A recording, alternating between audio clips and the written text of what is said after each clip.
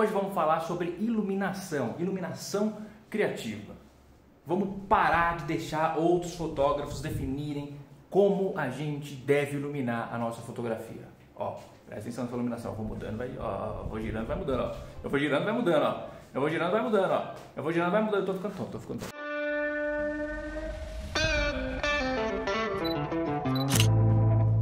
E aí, gente, beleza? Como é que vocês estão? Eu tô bom. Como eu falei pra vocês, vamos falar sobre iluminação criativa. E em 2022, eu tô gravando esse vídeo no finalzinho de 2021. Não sei se eu vou postar em 2021 ou 2022.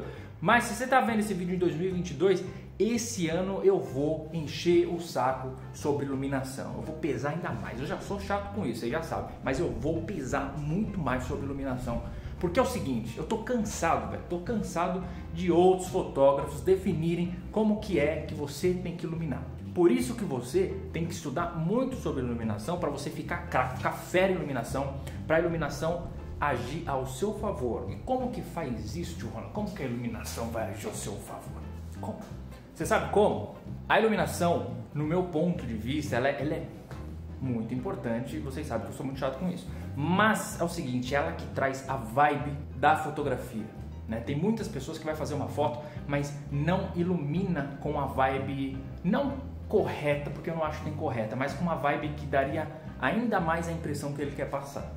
É, é por esse caminho que eu quero me enveredar aqui, ó, por esse caminho. A iluminação é uma coisa tão maravilhosa que a gente pode quebrar as regras se eu falar para você que um filme de terror ele tem que ser iluminado de uma forma meio contrastada, eu vou estar tá mentindo, por que não? É só você assistir lá o clássico de terror chamado O Iluminado, você vai ver que é um filme super clean. Claro que ele tem os seus momentos ali de mais contraste, de mais mistério, feito com a iluminação também. Mas a maior parte do filme é super clean, porque eles estão em um hotel, eles estão tomando conta de um hotel, e o hotel é sempre muito bem iluminado pegar filmes como Alien, o primeiro, claustrofóbico aquela iluminação, de tudo é tudo contrastado, a luz entra do lado, aí tem um negócio no fundo, a luz dura. É claustrofóbico, não só o cenário construído, mas como a iluminação ajudou tudo isso. Então, esse é o poder da iluminação. Então é o seguinte, eu vou ler uma foto aqui no estilo de terror. Como eu falei pra vocês, eu gosto muito dessas coisas, eu, acho legal, acho legal. Só acho. Já é. Então, qual que é a ideia? é, é um achachino, não posso ficar falando essas frases, senão o YouTube começa a pegar essas palavrinhas e ele começa a cortar, não dá alcance pro vídeo. Então é o achachino, entendeu? Você entendeu? Você sabe. O cara aqui. Então ele vai estar em algumas fases. A primeira fase dele, ele cometeu o ato, ele fez, só que é a primeira vez. Então ele fez aquilo, então ele vai meio que ficar meio meio com medo. Sabe quando a pessoa fica meio, meu Deus, o que que eu fiz? Essa é a primeira fase. A segunda fase eu já planejo ele já indo, já indo para um lance eufórico, sabe? Eufórico, meio que olhando aqui, blood, aqui sim, eufórico.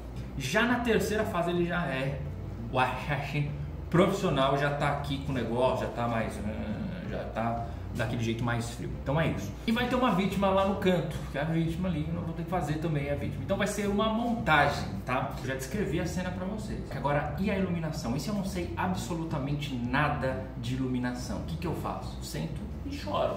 Né? Se eu der os equipamentos que eu tenho aqui para um monte de gente que não sabe iluminar, o cara vai ficar, que legal, que grande, que bonito, e não vai fazer nada daquilo que, por exemplo, tava, estaria na minha mente. Se eu pedisse para ele, ó, quero uma luz contrastada e tal, ele não ia saber fazer, né? Por isso que é importante você dominar a iluminação. Qual que é a vibe que eu quero?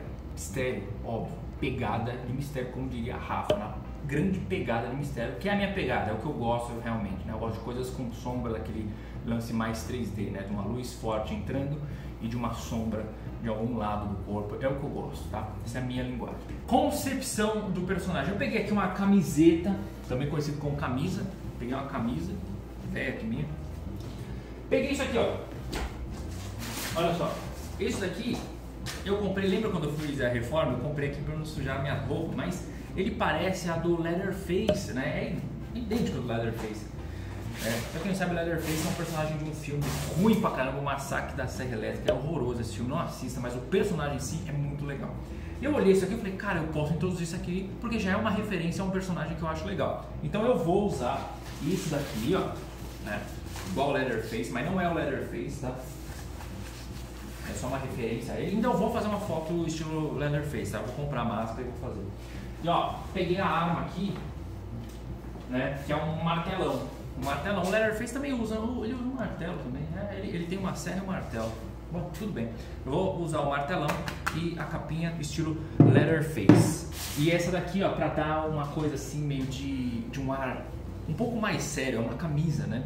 Então ele tá com uma camisa, tá com esse negócio por cima. E tipo assim, ele vestiu um negocinho pra ir fazer um negocinho ali, uma, uma pessoa, depois ele tira aquilo, dobra e volta lá pro escritório, tipo isso.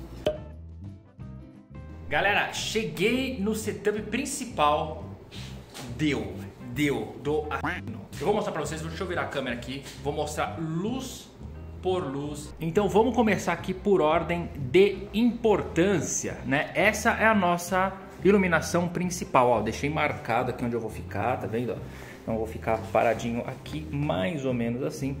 E aqui vai ter a nossa luz principal, ó. Tá vendo? Escolhi esse daqui porque primeiro que vai me iluminar muito bem e não vai jogar muita luz para o fundo, que vai ser bem importante. Então ele tem um grid e ajuda nisso. Segunda luz aqui é uma luz aqui de contorno, né? Vou ficar mais ou menos aqui, então vai ter um contorno meu aqui que eu coloquei um gelzinho azul. E você percebe que ela não tá assim, é reta, né? Ela tá assim também para não vazar luz pro fundo. Deixa eu mostrar para vocês aqui, só para vocês verem direitinho aqui, ó. Olha lá, tá vendo? Tem uma angulação assim, ó. A luz não quero que ela vaze aqui pro fundo. Aqui eu tenho esse LED azul maravilhoso, eu adoro esse tom de azul aqui. Ele também ele tá virado um pouco para frente, ó, para não vazar pro fundo, apesar que ele vaza um pouquinho pro fundo mesmo assim.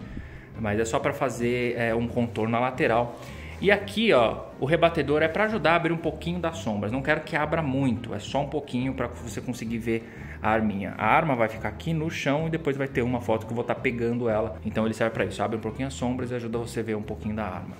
Agora é o seguinte, então como você pode ver, o setup vai ficar aqui na frente da outra fotografia que eu vou fazer, né? Que vai ser eu caído lá no fundo. Então eu vou ter que fazer uma foto, removo isso daqui, mantenho essas duas e faço a outra foto ali. Ainda vou pensar se vou fazer uma iluminação especial ou se eu vou deixar ele um pouquinho no fundo mais escuro ali. Vamos ver isso aí depois.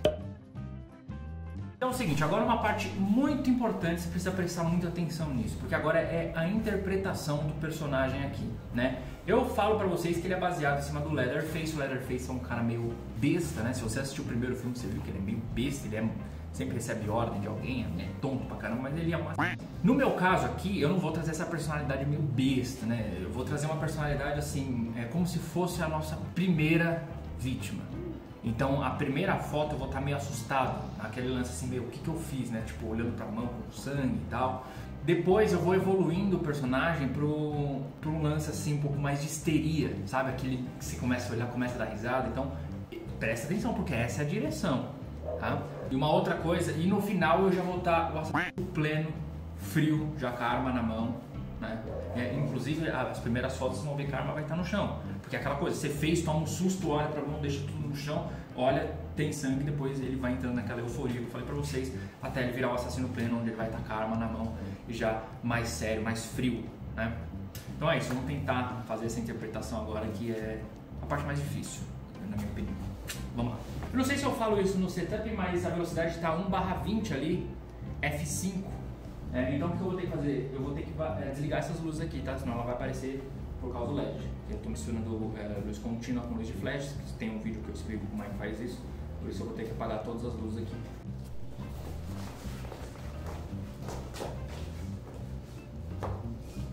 Arma no chão.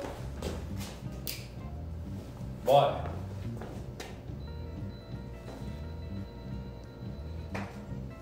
Agora vamos para o começo dessa euforia. Estou saindo aqui do que, que eu fiz para um... Agora peguei a arma e agora já temos o assassino pleno. Frio, calculista.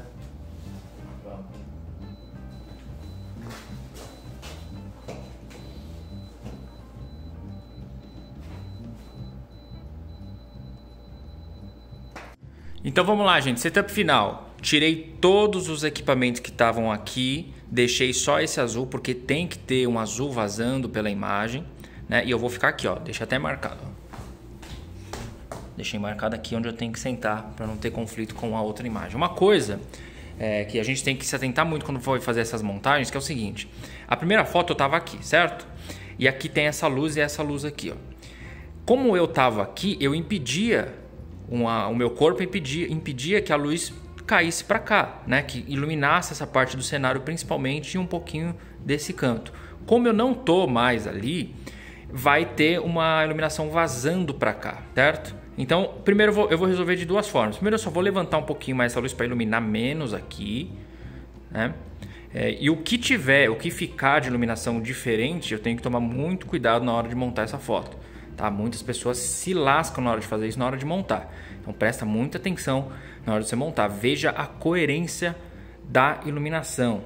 Beleza? Vamos fazer essa foto aqui do, do, do perecido aqui, ó. Perecido, ó. Ah, pereceu aqui, ó.